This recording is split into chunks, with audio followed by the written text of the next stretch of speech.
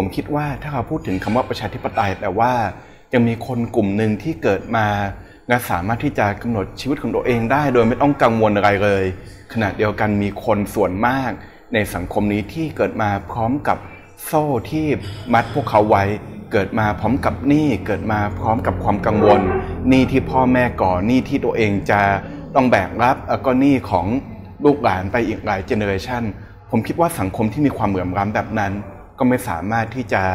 เป็นสังคมที่มีประชาธิปไตยสมบูรณ์ได้ ผมเลยคิดว่าถ้ากำลังพูดถึงความเสมอภาค ความเป็นมนุษย์ที่เท่าเทียมกันรัฐสวัสดิการเป็นเงื่อนไขสำคัญที่จะทำให้ความแตกต่างกันโดยชาติกำเนิดเป็นโมฆะได้มากที่สุดทำให้มนุษย์เสมอภาคกันได้มากที่สุด และก็ทำให้ประชาธิปไตยของเราสมบูรณ์ได้มากที่สุดเช่นเดียวกัน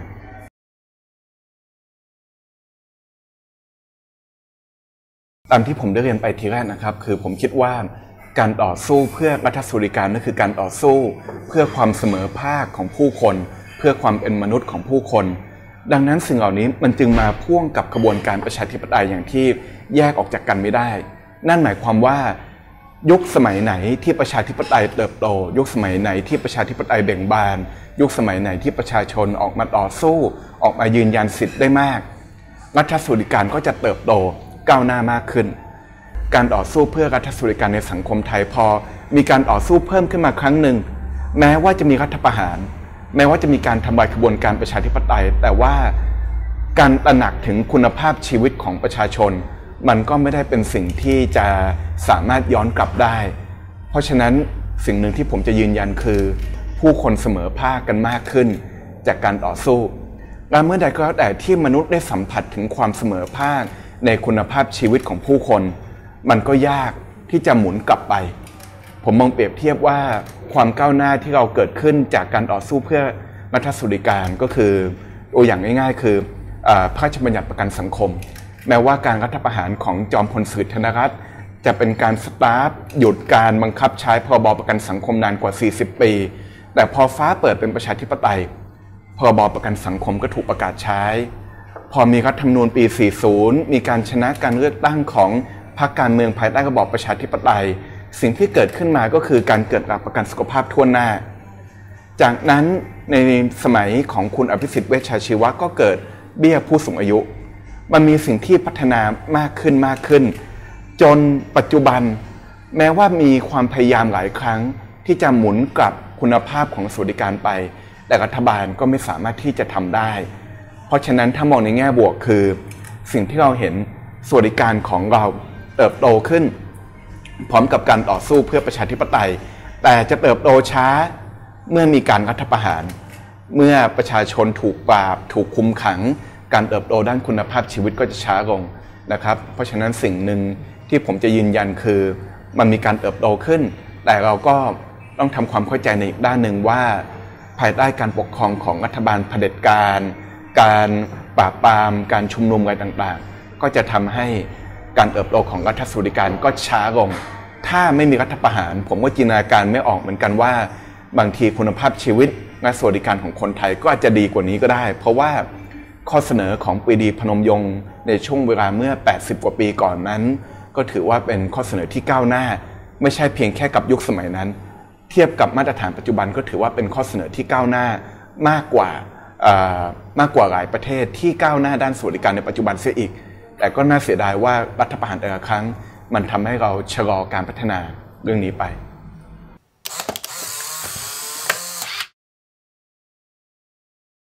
สิ่งหนึ่งที่เราจะเป็นต้องย้ำครับเราคุยกันว่าคุยกันถึงเรื่องประเด็นรัฐสวัสดิการเนี่ยมันเป็นเรื่องที่น่าแปลกมากคือ ไม่ว่าผมจะพูดวันนี้พูด 5 ปีที่แล้ว 10 ปีที่แล้ว หรือว่า 15 ปีที่แล้วเนี่ยเราก็ มักจะมีคำอธิบายว่าเรื่องนี้เป็นเรื่องใหม่ที่คนไม่รู้จัก เป็นเรื่องใหม่ที่คนไทยไม่คุ้นเคยกัน แต่สิ่งหนึ่งที่ผมอยากย้ำคือ การต่อสู้เพื่อรัฐสวัสดิการนี้ไม่ใช่เรื่องใหม่นะครับ เป็นสิ่งที่มีอยู่ในกระบวนการการต่อสู้เพื่อประชาธิปไตยของไทยเนี่ยมาอย่างยาวนาน ถ้าจะนับแล้วการต่อสู้ฉากแรก ระหว่างประชาธิปไตยกับฝั่งอนุรักษ์นิยมเนี่ยก็คือการต่อสู้ภายใต้ concept นี้ว่าประเทศไทยควรจะมีรัฐสวัสดิการหรือไม่ ซึ่งมันก็คือนำสู่ความขัดแย้งระหว่างฝั่ง conservative แล้วก็ฝั่งก้าวหน้าในสังคมไทย แล้วก็เป็นจุดเริ่มต้นของการรัฐประหารการสละราชสมบัติของรัชกาลที่ 7 รวมถึงการที่ฝั่งก้าวหน้าก็จะถูกพยายามทำให้มีบทบาทน้อยลง หลังจากที่มีการต่อสู้เพื่อ concept รัฐสวัสดิการ และสิ่งหนึ่งที่ผมอยากย้ำคือ แนวคิดของอาจารย์ปรีดีพนมยงค์นี้การนำเสนอผ่านเค้าโครงเศรษฐกิจ นะครับหรือแม้กระทั่งคำประกาศที่อยู่ในแถลงการณ์ของคณะราษฎรฉบับที่ 1 ก็พูดถึง concept นี้ พูดถึงกรอบแนวคิดว่าด้วยความเสมอภาคทางเศรษฐกิจของผู้คนที่อยู่ในสังคมนะครับ เพราะฉะนั้นผมคิดว่าเรื่องนี้ไม่ใช่เรื่องใหม่ อย่างน้อยที่สุดเราต่อสู้กันมาตั้งแต่ปี2475 80 กว่าปีก่อน มีคอนเซปต์นี้ที่อยู่ในสังคมไทย และก็เป็นกรอบสำคัญในการต่อสู้ ของขบวนการประชาธิปไตยแทบทุกยุคทุกสมัย แม้กระทั่งยุคปัจจุบันเอง ขบวนการคนรุ่นใหม่ที่ลุกขึ้นมาต่อสู้ ก็ยังคงมีคำนี้ที่ปรากฏอยู่คำว่ารัฐสวัสดิการ ที่ถูกพ่วงเข้าสู่การต่อสู้เพื่อประชาธิปไตย ไม่เคยขาดหายไปในสังคมไทยเลย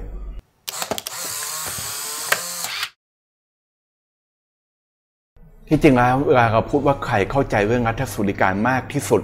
ในในประเทศไทยนะครับ ผมคิดว่าจริง ๆ แล้ว ไม่ใช่นักวิชาการนะครับ คือเป็นผู้คนธรรมดาเนี่ยแหละที่อยู่ตามท้องถนน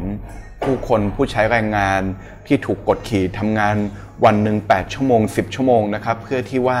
จะได้มีค่าจ้างเพียงแค่เดือนละหมื่นกว่าบาทาพูดถึงแรงงานอิสระที่ทำงานนะครับทำงานอยู่บนมอเตอร์ไซค์นะครับมอเตอร์ไซค์ก็มอเตอร์ไซค์เราแรงก็แรงเรานะครับ แต่ว่าสุดท้ายแล้วสร้างความมั่งคั่งให้แก่เขา คนกลุ่มนี้ ผมเชื่อว่าเป็นคนกลุ่มที่เข้าใจความไม่เป็นธรรมมากที่สุดนะครับรวมถึงคนกลุ่มกลุ่มคนรุ่นใหม่ ที่คุณเงยหน้ามา คุณก็เห็นแต่ความอายุติธรรมเต็มไปหมดเลย คุณเห็นระบบกฎหมายไทยที่ไม่สามารถพึ่งพาได้ คุณเห็นระบบทุนนิยมที่มันผูกขาดที่เจ้าสัวสามารถจองประเทศนี้ข้ามเจเนอเรชันให้ลูกของพวกเขาได้ คนรุ่นใหม่ก็รู้สึกไม่พอใจ ผมเคยทำโพลมา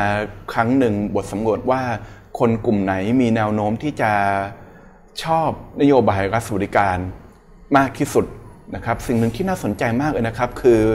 เรามักจะคิดว่าผู้ใช้แรงงานหรือชนชั้นกลางจะไม่สนใจเรื่องรัฐสวัสดิการปรากฏว่าผลโพลมาทุกกลุ่มนะครับ 60-40 ชอบรัฐสวัสดิการมากกว่ากลุ่มคนที่ดูเหมือนจะปฏิเสธรัฐสวัสดิการมากที่สุด กลับกลายเป็นคนที่จบปริญญาเอก หรือว่าอาจารย์มหาวิทยาลัยวันนี้เป็นเรื่องเรื่องที่น่าคิดเพราะฉะนั้นสิ่งหนึ่งที่ผมอยากย้ำก็คือ การที่เรามีชีวิตที่ดีขึ้น เรามีกับประกันสุขภาพทั่วหน้า เรามีเบี้ยผู้สูงอายุ เรามีประกันสังคม เรามีกฎหมายคุ้มครองแรงงาน มีกฎหมายแรงงานสัมพันธ์หรือแม้กระทั่ง การที่เราสามารถที่จะมีวันหยุดได้ในวันอาทิตย์ วันเสาร์มีวันลาพักร้อน มีวันหยุดลากิจอะไรต่างๆ ได้ ก็เกิดขึ้นจากการต่อสู้ของคนธรรมดาสามัญนนี่เองนะครับ ก็ผมคิดว่าปีดีพนมยงค์นะครับแม้ว่าภาพจำของท่านนี้จะถูกทำให้เรือนรางอยู่ในความทรงจำของของ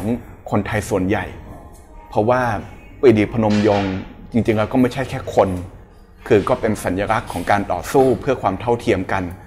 แน่นอนที่สุดนะครับผู้มีอำนาจในสังคมนี้ ก็ต้องเกลียดกลัวความเสมอภาคอยู่แล้วนะครับพวกเขาจะกลัวเกลียดในสิ่งที่ประชาชนรัก และเขาก็จะรักในสิ่งที่ประชาชนเกลียด เขารักความร้ำรักความอายุติธรรมไว้ต่างๆพยายามพิทักษ์ไว้นะครับ ผมคิดว่าการที่เรารื้อฟื้นถึงความคิดเรื่องรัฐสวัสดิการของปีดีพนมยงค์ก็เป็นสิ่งที่ทำให้เราเดินหน้าออไปในอนาคตเพื่อเห็นว่าเรื่องนี้ไม่ได้เรื่องใหม่ สู้กันมา 80 กว่าปีแล้ว เพราะฉะนั้น มันสามารถที่จะเป็นไปได้ในวันพรุ่งนี้ครับผม เรียนเชิญทุกท่านเข้าร่วมงานปีดีทอล์กครั้งที่ 10 ในหัวข้อรัฐสวัสดิการเพื่อความสุขสมบูรณ์ของรัษฎรในวันที่ 11 พฤษภาคม 2564 นะครับ